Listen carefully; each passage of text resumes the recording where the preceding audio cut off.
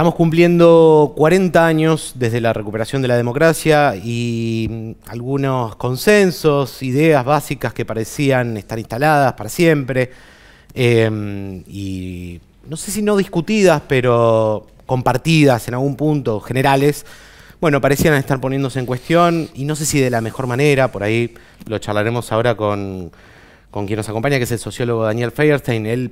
Digamos, un investigador, docente universitario y un poco especialista en estas cuestiones vinculadas a los estudios sobre genocidio eh, y a lo simbólico que rodea esto. De hecho, tengo aquí el libro El genocidio como práctica social, interesantísimo libro que le recomiendo a quien quiera abordar estas cuestiones. Gracias por acompañarnos, Daniel. No, por favor, gracias a ustedes. A ver, Daniel, eh, arranco por una pregunta que quizás es un poco sencilla, básica, pero que por ahí nos puedes ilustrar. Eh, ¿Cabe una diferenciación y cuál sería eh, a la hora de pensar entre discursos negacionistas, apologistas, o quienes relativizan el genocidio, el terrorismo de Estado, incluso escudándose en cierta ignorancia? ¿Hay diferencia entre estos?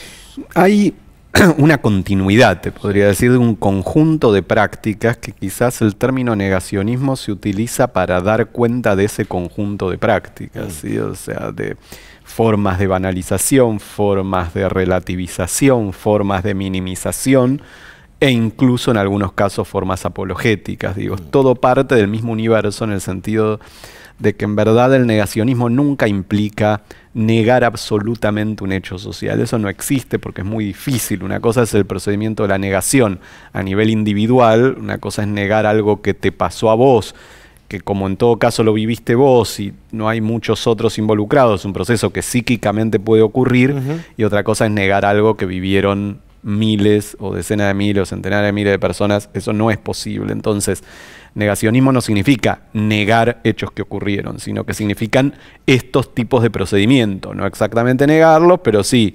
relativizarlos, minimizarlos, banalizarlos, distorsionarlos, o en algunos casos incluso hacer lo que ya implica un salto, la apología mm. de ese tipo de, de hechos, lo cual en algún punto se separa porque ya ahí ya no son formas de minimizar o relativizar, sino directamente de asumir la, existencia del hecho, pero darle un sentido positivo. Claro. A ver, en concreto, cuando decíamos, está, cuando decías, están poniendo en cuestión, o pareciera estar poniéndose en cuestión estos consensos eh, democráticos, me refería a un discurso que viene sobre todo impulsado desde la Libertad Avanza, ¿sí? Javier Milei, candidato a presidente, su vice, Victoria Villarroel. Entre otras cosas, el otro día en el debate, Milei decía que hubo una guerra en los 70, caracteriza las atrocidades eh, cometidas por los genocidas como excesos, eh, acusa a las organizaciones armadas de haber cometido delitos de lesa humanidad, mezclando ¿no? categorías jurídicas.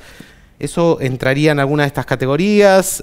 Yo creo que sí, yo creo que sí, pero me parece que no nace con la libertad de avanza mm. ni con mi ley. O sea, es un proceso que es previo. A ver, hay como distintos niveles. Hay un discurso que siempre existió, pero que quedó como un discurso muy marginal, ¿sí? que era el discurso de legitimación de la dictadura en esta clave, que esto es lo, lo sorprendente, lo preocupante que recupere mi ley este discurso de una guerra y en todo caso quizás hubo algunos excesos en esa guerra. Este era el discurso de quienes sostenían la legitimidad del proceso represivo y la legitimidad del genocidio. Ese discurso no es que desapareció, no es que dejó de estar, pero sí se volvió muy marginal, era el mm. discurso hegemónico durante la dictadura, cuando aparece la denuncia de la gravedad de los hechos ocurridos y la indignación social ante eso, ya al final de la dictadura, 82, 83, ese discurso empieza a caer en descrédito, va a ser reemplazado por los dos demonios, por otra lógica y por una denuncia de esa violencia represiva. Entonces, en ese sentido, esto que aparece en mi ley es algo peor y previo de alguna manera a los dos demonios. Es otra cosa, es una legitimación de alguna manera de la represión. Pero lo que digo es, bueno, eso quedó marginal y comienza a reemerger antes de que aparezca mi ley políticamente, porque eso comienza a reemerger hacia el 2006, 2007, de modo incipiente, y va ganando fuerza, y te diría que hacia el 2012, 2013, va a comenzar a cobrar posibilidad de interpelar a otra cantidad de actores de la mano. Por eso, en esa genealogía está Cecilia Pando, está la creación de un conjunto de organizaciones, está el propio CELTIP de Victoria Villarruel. Mm. También están algunos periodistas que comienzan como a construir este tipo de miradas, un rol importante de Juan Bautista Joffre, de Seferino Reato, digo, de todo mm. un conjunto de, miradas que empiezan a, a hacer, a darle más consistencia y más potencia a estas miradas. ¿no? Claro, cuando emerge un candidato político con posibilidad de ganar la presidencia de la nación, es como que ahí explota y uno empieza a verlo, pero es un proceso que se fue construyendo mucho más lentamente durante más tiempo. A ver, muchos habló de una supuesta derechización de la sociedad, después vinieron otros especialistas, intelectuales, bueno, y gente que lo que decía es, bueno, no todo el mundo eh, compra todo el discurso de Milei, no todo el votante de Milei compra todo el discurso, todo el paquete, de hecho vemos, se ven muchas contradicciones en los estudios de opinión pública, ¿cómo lo ves eso? Sí, no solo con Milei, creo que no todo votante de una fuerza compra todo el discurso de esa fuerza, vale para cualquiera, digamos, esto es, eh, uno a la hora de votar prioriza algunas cosas sobre otras y no quiere decir que coincide con todo lo que plantea la fuerza política a la que vota. Pero lo que sí es importante tomar en cuenta, más allá de cuántos coinciden o no, es que lo que va a ocurrir ahí de modo muy incipiente hacia 2006-2007 y ver cobrando cada vez más fuerza es la comprensión de estos sectores de derecha de la necesidad de librar una batalla cultural. Ellos mismos la llaman así. Esto es algo que decía el propio Camps ah, después del final de la dictadura, cuando él planteaba, ganamos la batalla militar, perdimos la batalla cultural. Eh, había algo de razón en ese planteo de que la lucha de los organismos de derechos humanos, la articulación con el movimiento popular, la resistencia a muchas de las visiones dictatoriales generó efectivamente una serie de triunfos en lo cultural, eh, que son estos consensos que vos decías, que duraron muchos años, pero no es que duraron muchos años, nada dura para siempre, duraron muchos años porque se iban reactualizando, se iban logrando nuevas y nuevas conquistas en ese sentido. Y ese punto que yo marco, que por eso lo pongo tan temprano, 2006, 2007, 2008, marca una reversión de esa secuencia, digamos, un ciclo ascendente que comienza a final de la dictadura, año 82, 83, dura hasta el 2006, 2007, o si lo queremos llevar un poco más, quizás 2012, más allá de que empiece a emerger 2006, 2007, y ahí cambia el ciclo en cuanto a qué logra interpelar más y cómo. Y entonces ahí hay que mirar los dos lados, digamos. Por un lado, que estos sectores de, derecha primero cambian, es una nueva derecha, plantea un nuevo discurso, hay cosas que se parecen pero otras que no, no las dicen exactamente igual, entonces hay todo un cambio en ese sentido. Y también hay que ver qué pasó del otro lado, qué pasó en el campo popular, que es cómo algunos discursos se anquilosaron, cómo interpelaban a un sector pero no a los nuevos sectores que se fueron sumando, cómo se cometieron muchos errores conceptuales que abrieron la puerta a estas nuevas miradas, cómo no se pudo escuchar lo que estaba pasando, entonces se le seguía hablando a, la derecha de los 80 cuando era un nuevo discurso el que estaba emergiendo. Entonces me parece, bueno, pasó mucho de todo esto que muestra, aunque sea doloroso reconocerlo, pero lo dice con mucha claridad muchos de los intelectuales de esta nueva derecha que acompañan en general a la libertad avanza en algunos casos, en algún otro quizás a Bullrich, pero sobre todo a la libertad avanza, que plantean que efectivamente que ellos están librando una batalla cultural y que sienten que han tenido triunfos en esa batalla cultural y es cierto, digamos. Entonces, hasta que no lo comprendamos, va a ser muy difícil que podamos eh, dar de otra manera esa batalla. Esa batalla cultural eh, en general se da en forma de reacción, ¿no? Es reactiva. No es que no, lo fuera así en general en las batallas culturales, políticas o en la escena pública suele ser así, pero es muy particular, digamos, contra lo que ellos llaman ideología de género, ¿no? digamos, las conquistas del feminismo y el movimiento de género, eh, contra el relato de, ellos dicen, el, curro de los derechos humanos, esta cuestión, ¿no? Digamos, es muy reactiva en varios sentidos. Em, digamos, eso te, es, una reflexión que, la laburaste, que la venís pensando, digamos. Las batallas culturales siempre son reactivas. o sea, siempre uno se enfrenta a otra cosa. Sí, cuando avanzábamos nosotros en una batalla cultural, primero Bien. contra la legitimación de la dictadura. Cuando esa se logra ganar bastante rápido, comienza una batalla cultural contra la teoría de los dos demonios, que había sido aquella Entiendo. que había permitido desarmar la legitimación represiva de la dictadura. Esto es, siempre es reactiva. El problema es tratar de entender este doble juego que nos cuesta mucho ver porque es ver qué hace el otro, pero también ver qué hace uno.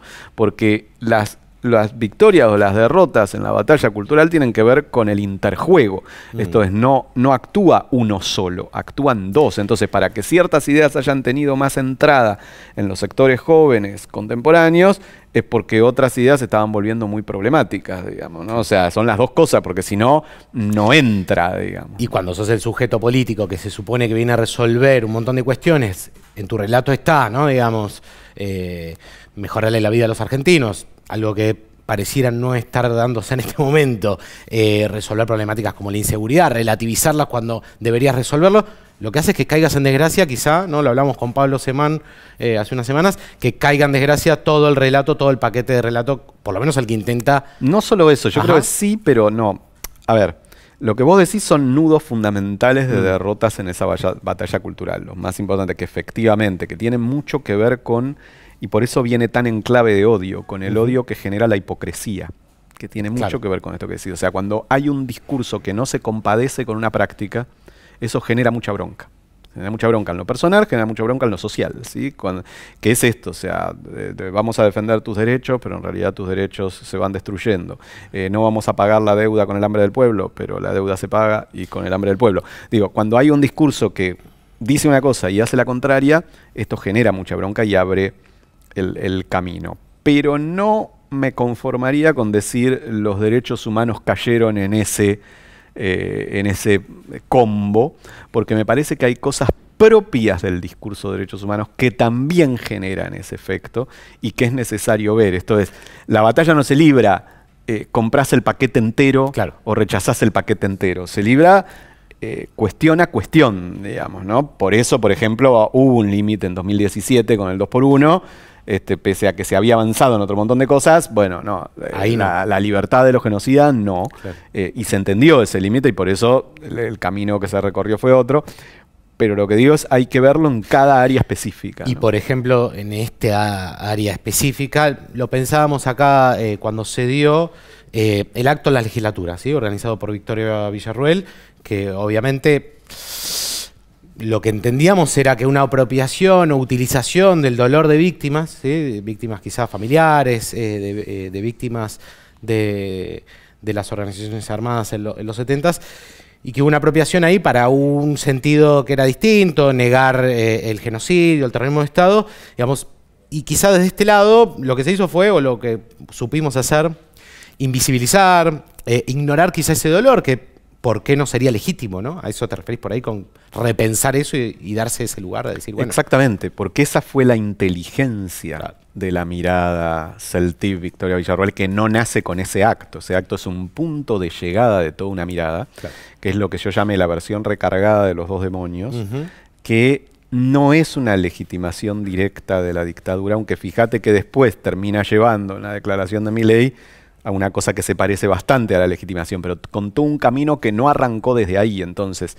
lo que hace es plantear una especie de camino en espejo del camino que hicieron los organismos de derechos humanos, que era despolitizar a las víctimas de la dictadura como herramienta para construir empatía, digamos, con a su vez una profesionalización, el CELS, por poner algo, este, Suena muy de parecido la mirada. ¿no? Bueno, claro, claro. tal cual. Entonces, Mm. cuando crean el CELTIP, la lógica es esa, profesionales al servicio de trabajar el derecho de las víctimas de las acciones de las organizaciones insurgentes a trabajar un dolor que era cierto que la sociedad venía negando en un discurso que no le dio un espacio a ese dolor y despolitizándolo. Entonces, fíjate que no se trabaja el caso del comisario Villar, uno de los mayores torturadores argentinos, que fue ajusticiado porque quién va a defender a Villar, sino que se toma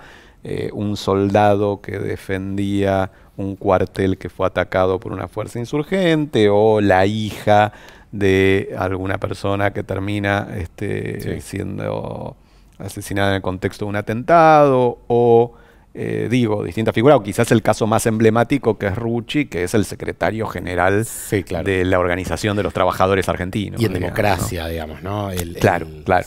Y entonces digo, eh, pero lo que digo es un procedimiento parecido al, de la conformación de los organismos, donde justamente esa despolitización de ese primer momento de las denuncias de derechos humanos tuvo un costo para la mm. construcción de discursos, pero tuvo la posibilidad de construir empatía. Esto se hace en espejo del mismo modo y sobre todo que no pudo ser observado. Entonces esto estaba creciendo, estaba desarrollándose y no se le hablaba a esta gente, mm. digamos, ¿no? Esto es, no se respondía en esa clave, justamente, por ejemplo, tratando de desarmar esas equivalencias sin minimizar el sufrimiento de, de, otras personas, porque lo que es para desarmar una equivalencia no hace falta decir tu sufrimiento no existe. Simplemente uno puede plantear, se trata de hechos eh, totalmente distintos, cualitativamente distintos e incomparables en ese sentido, pero el dolor no es comparable, el dolor es dolor. en política o en el discurso público, cuando dejas un claro y preferís ignorarlo, hacerte el boludo. Exactamente, el otro avanza ahí. El otro avanza y le dejas para que construya ahí un relato.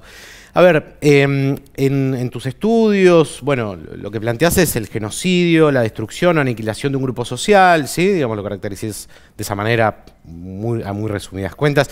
Pero no solo hablas de, una destrucción física, ¿sí? La aniquilación, sino de una forma simbólica, ¿no?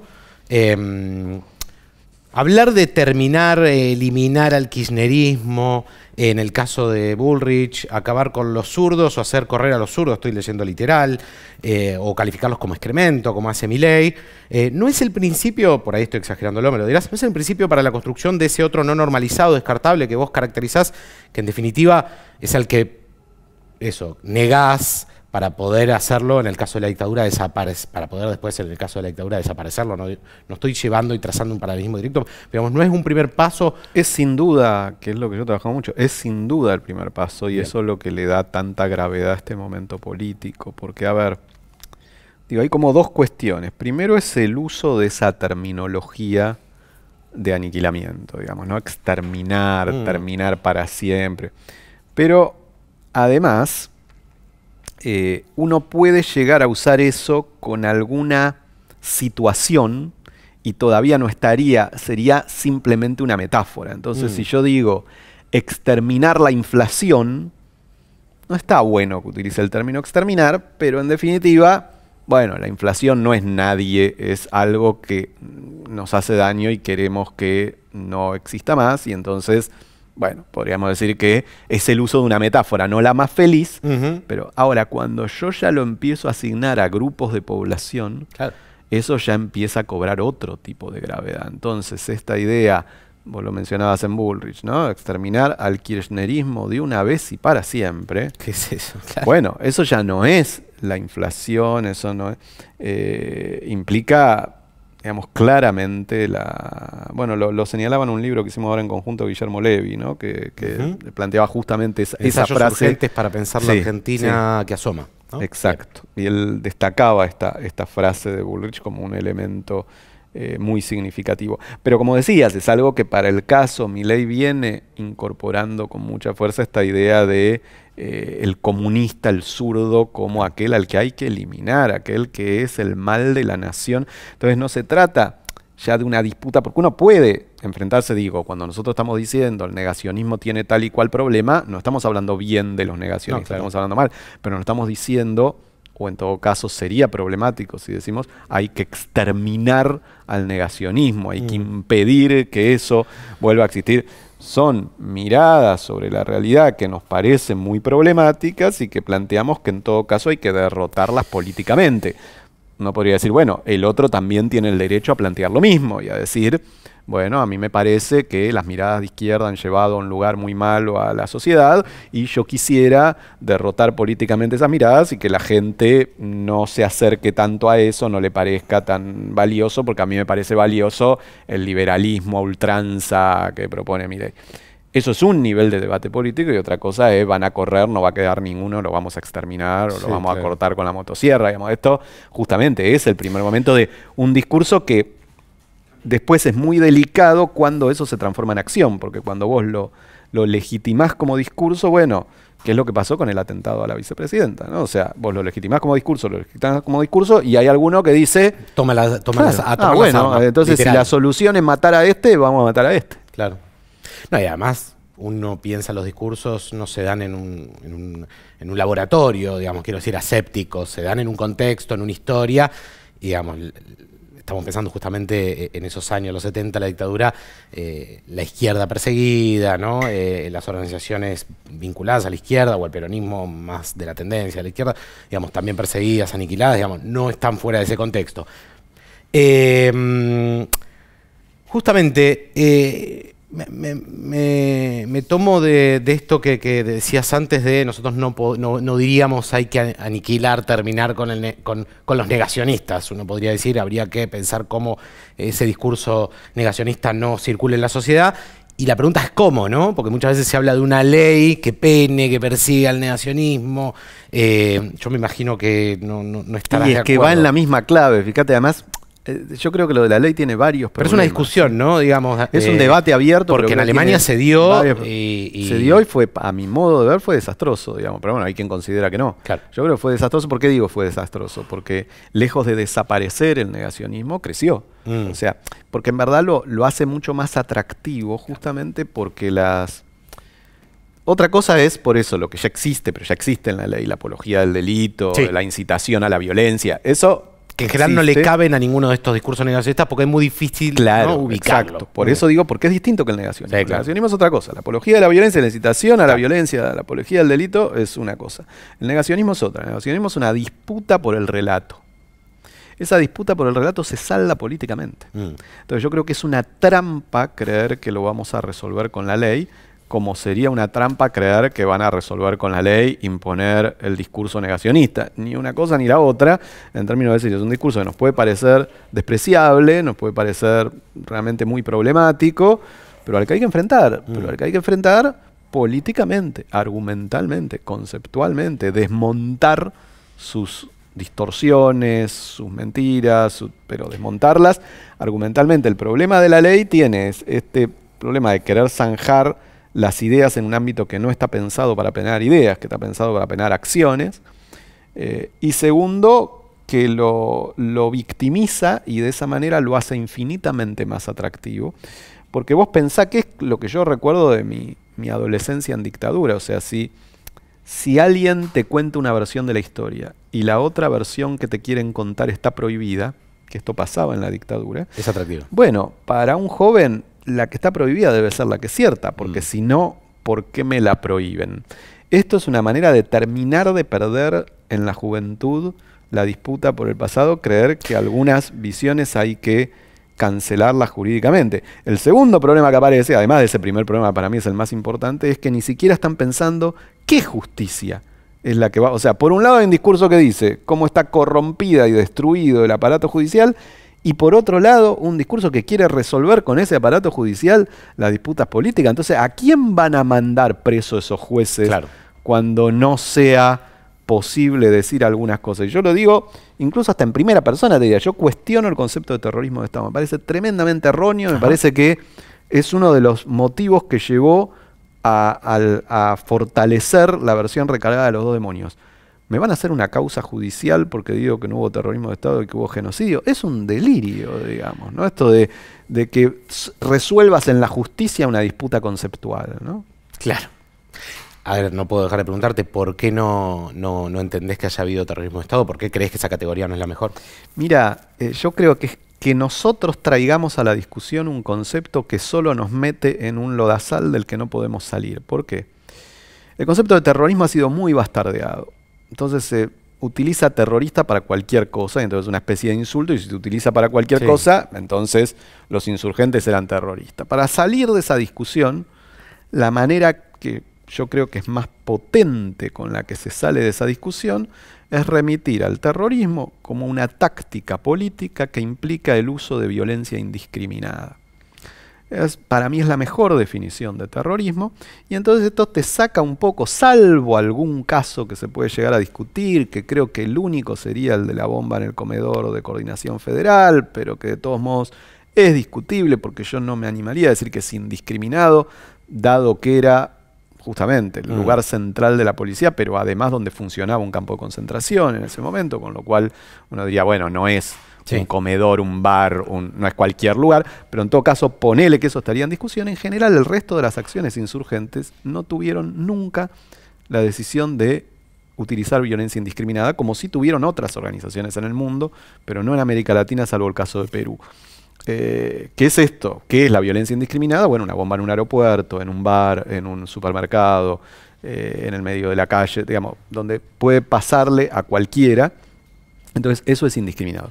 Ahora, si tenemos esa definición de terrorismo, entonces el Estado tampoco fue terrorista, porque la violencia estatal fue genocida, pero no fue indiscriminada, fue absolutamente selectiva, fue bien discriminada, o sea, tenía claro, hizo todo un trabajo de inteligencia para decidir a quién se iba a secuestrar, a quién se iba a torturar, a quién se iba a asesinar. Planificado, fue un genocidio planificado. Exacto, absolutamente discriminado. Y entonces, el problema es, ah, bueno, pero si la forma más potente de sacar terrorismo como categoría para los insurgentes me la saca también para el Estado, ¿para qué yo mismo voy a traer terrorismo de Estado a la discusión? Porque yo te traigo terrorismo de Estado Mm. y te habilito los dos demonios, porque en cuanto te digo Claro. terrorismo de Estado, viene la contrapregunta y el otro terrorismo que... Lo que Claro. pasa es que parte del problema que decíamos es como los organismos de derechos humanos o muchos organismos y gran parte del campo popular, sobre todo a partir del siglo XXI, empezaron cada vez más a hablarse a sí mismos, no tomaron en cuenta que el otro contesta. Entonces, empezaron en un circuito donde utilizamos palabras que como nosotros sabemos lo que significa y no vamos a dejar que ninguno otro nos diga, este, nos hablamos a nosotros mismos y nos vemos que el otro tiene derecho a decir, che, y el otro terrorismo, y ahí entonces, no, no lo podés decir, y ahora lo peor sería, y bueno, y entonces te vamos a llevar a la ley para que no lo puedas decir. Y es como, bueno, eso implica una derrota profunda en una batalla cultural. El problema es, ¿para qué traes vos ese concepto si tenés otros? ¿Para qué lo traes y te metes en un lodazal de que no sabes salir? Porque cada vez que planteo el tema y digo, ¿cómo salen? Eh, eh, siempre es gritando, o sea, ¿cómo salís? No, porque no voy a tolerar que digan que es lo mismo. Bueno, no, no, no, no es que no vas a tolerar. Explícame por qué en un caso sería terrorismo y en el otro no. ¿Con qué definición de terrorismo me vas a decir que se aplica? Entonces, digo, una respuesta. Bueno, porque el Estado generó terror en la sociedad, cierto.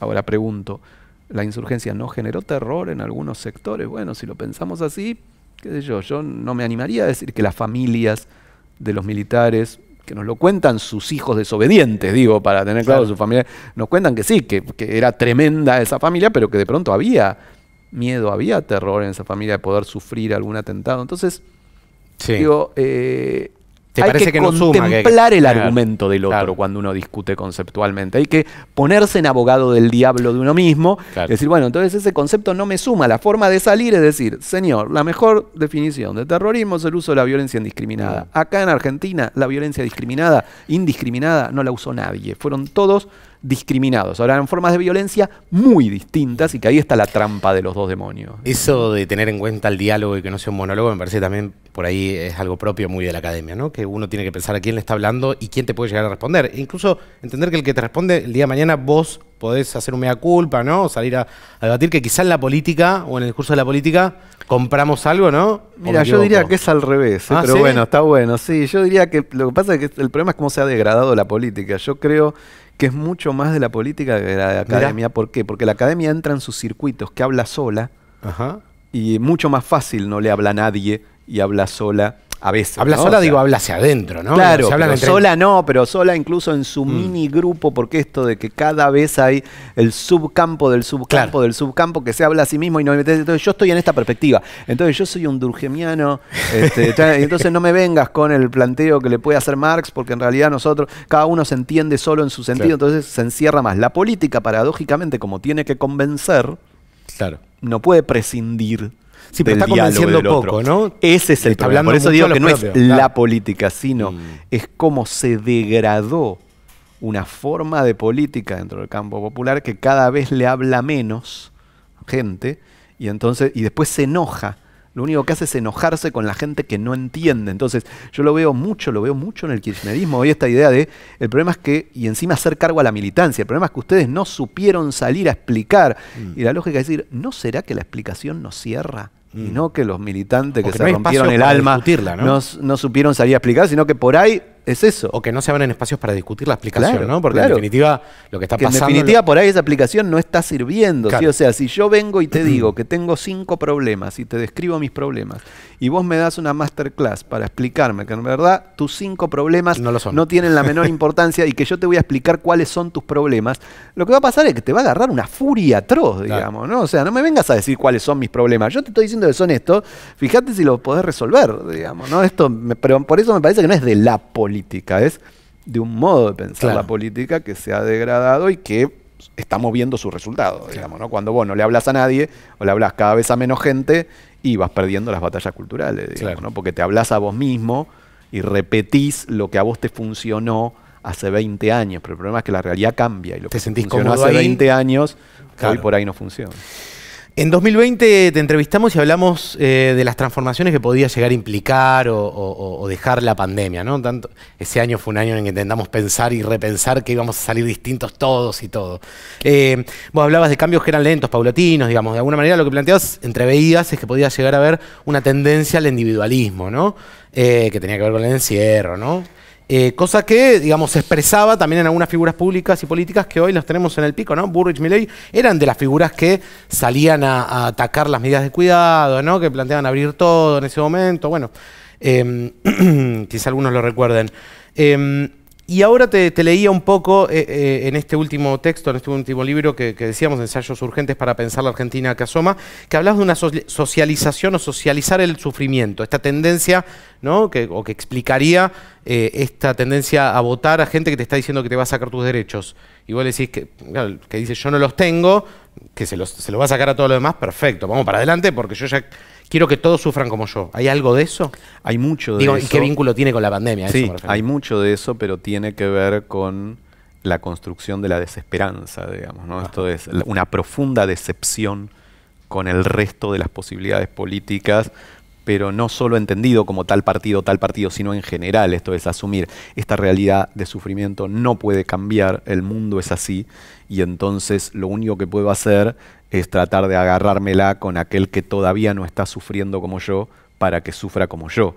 Eso es tremendo como planteo político, pero claro, emerge cuando eh, esto, cuando hay mucho odio dando vuelta y odio legítimo dando vuelta y mucha desesperanza. Si Vos planteabas en la pandemia, eh, me parece que lo que fue duro de la pandemia no fue todo el sufrimiento, sino dos cuestiones que me parece que potenciaron ese sufrimiento. La primera es la falta de elaboración del sufrimiento. Esto es, sufrimos, pero después hicimos como que no pasó nada y quisimos volver a la vida como si no hubiera instancias donde trabajar qué nos pasó y cuánto sufrimos. Pero por otro lado, yo creo que hubo un elemento muy tremendo y que explica el odio actual y, por qué son Milley y Bullrich los que crecen, los que expresan cierto estado de ánimo, que fue la foto de Olivos. me parece que la foto de Olivos, y lo planteé en su momento también, eh, fue demoledora en términos de que ya venía avanzando un discurso antipolítico que planteaba esta idea de hay otro que disfruta mientras vos sufrís pero que eso fuera expresado de tal manera por la figura de mayor autoridad y en la que se había depositado confianza, porque nos olvidamos que Alberto Fernández había llegado a niveles de aprobación que no tuvo ningún presidente en la Argentina. Esto uno lo olvida porque como ha quedado en un rol casi como compitiendo con De la Rúa por, por el más triste de los presidentes argentinos, uno olvida que... Eh, dos años antes estaba, llegó a tener más del 80% de aprobación, algo que no tuvo ni Perón, digo, para, para pensar líderes argentino. Y eso tenía que ver con que se observaba que había alguien dispuesto a cuidarnos en una situación eh, de peligro.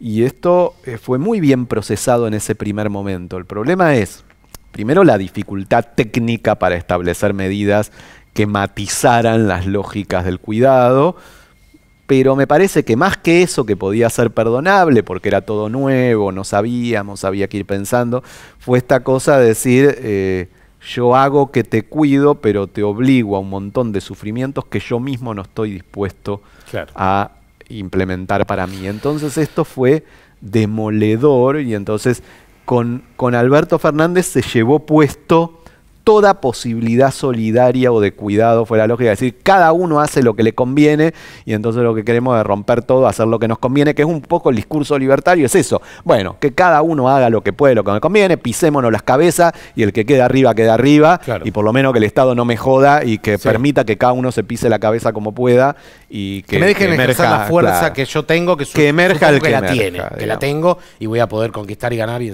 y a todo esto capítulos que se le fueron sumando en el tiempo, ¿no? Digamos, porque hace poco tuvimos el afer insaurrable que probablemente también yo la leo en esa línea de decir, digamos, un país que está empobrecido, en crisis, que te están diciendo que la crisis está porque no te la niegan, te dicen que se puede salir mejor, y mientras tanto, ¿no? Insaurrable es uno más, que este es el tema, de todo un discurso, o sea, que se, se va construyendo, que es esta idea de eh, podríamos decir, realmente la degradación de la política. Esto es la transformación de la política en aquello que plantea esta derecha neofascista, que es esa política convertida en casta que lo que hace es solamente aprovechar la política para ganar prebendas, para vivir de modo especial, pero lo que digo, eso no es solo Insaurralde, y esto es lo grave.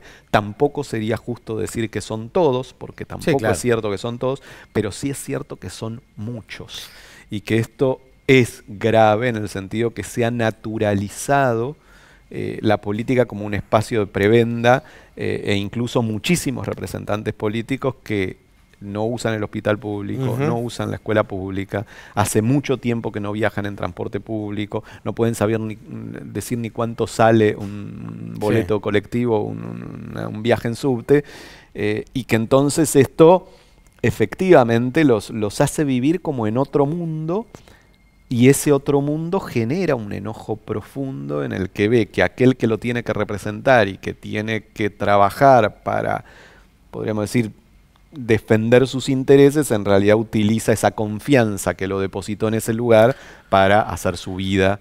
Este, y bueno, en el caso más exagerado como lo sí. Más porno, digamos. Exacto, sería un buen término. Eh, a ver, por último, y, te liberamos por ahí, eh, Daniel, eh, hablabas desde legitimación de la política, yo diría crisis de representación y también pauperización social, digamos, en términos de las condiciones de vida de la gente digamos, no, no, no, es un escenario muy amable, muy, muy interesante ni esperanzador, que es lo que decías.